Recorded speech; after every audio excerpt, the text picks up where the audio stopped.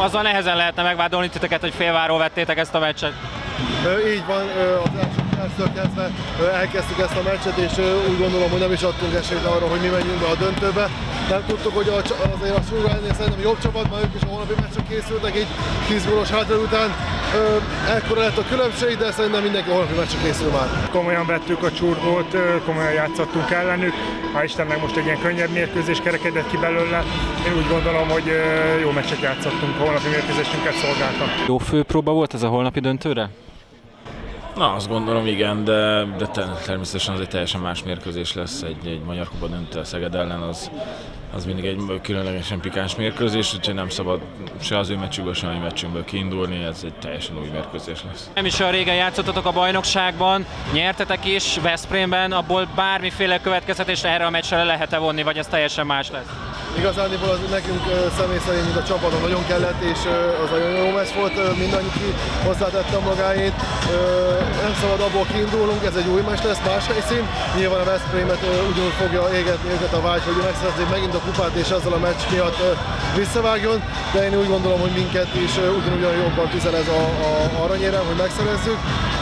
Remélem, hogy most mi fogunk jönni a végén győztesként megint úgy.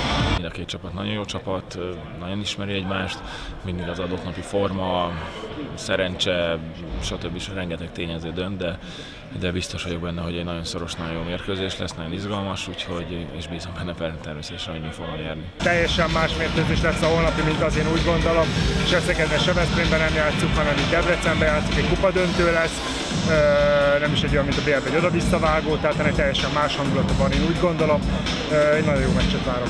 Mi az, ami esetleg ott nem működött, és amire itt most figyelni kell majd? Én szerintem sok gólt kaptunk, túl keményebbnek kell lenni a védekezésünknek, jobban kell zárni, jobban kell jó, em, em, jobb védekezés mögött jobb kapus teljesítmény, és támadásban is persze belőni az ittszereket, nem kevesebb technikai hibával játszani, úgyhogy ezek a legfontosabb dolgok. Azon a meccsen ugye parádéssal játszottál, meg lehet ismételni azt a teljesítményt? Szerintem most sokkal jobban fognak figyelni rám, én mindig azon vagyok, hogy ezt a teljesítményt próbáljam nyújtani, de annak is fogok örülni, hogy csak mondjuk az utolsó gólt élőm és azzal nyerünk, nyilván viccet féltélve nem gondolkozom, hogy most milyen teljesítményt akarok majd fogok nyújtani, hanem inkább, hogy csinálom a feladatomat, és szeretném megnyerni a mint csapatként a mérkőzést. Mennyire lehet szimbolikus ez a meccs olyan szempontból, hogy végülis akkor azon a bajnokin kezdődött el egy ilyen nehezebb időszak, amit akár holnap egy, egy sikerrel le is zárhatnátok? Hát természetesen mindenkinek jól jönne egy sikerét szurkolnak, vezetőnek, a csapatnak egyaránt.